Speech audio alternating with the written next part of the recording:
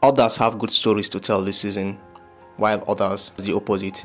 Now here is some painful things some uh, the most gaming enthusiast with low-end devices face, using myself as a case study. Now when I got my new device everything worked, but that was before I downloaded all the in-game files required to run COD. And after I did, it became something else.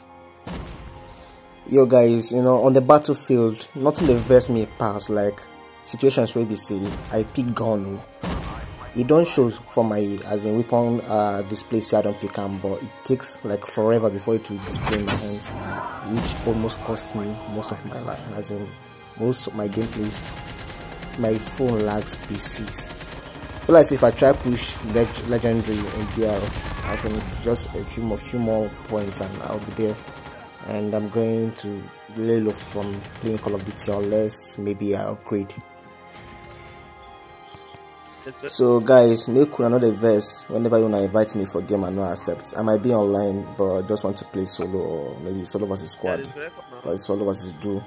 It's best for me at least i don't want to be fucking up someone's gameplay. at least if i die i know say i die in peace without feeling guilty for costing people their gameplays. And uh, cod is just uh, uh bottom breaker so we got no choice. We keep playing even though my phone is inadequate but that doesn't mean I'll stop playing. I'll keep playing, but I'm not going to be playing as I don't turn bot right now. My device is making me play like a bot. I try my best to pull up a time share, but it's really difficult with this new device I've gotten.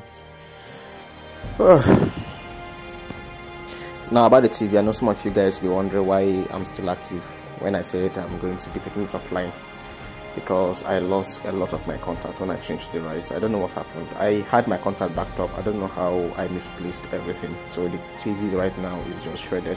Though I still have a little bit of contact, but it's not motivating to keep dropping and be active. And also I'm in school and I have a lot on my head right now. So for that, uh, hope you guys understand. Um, but for the meantime, I'll be dropping uh, anytime, whenever I can.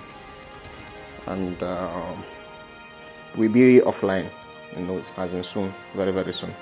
Pinus out.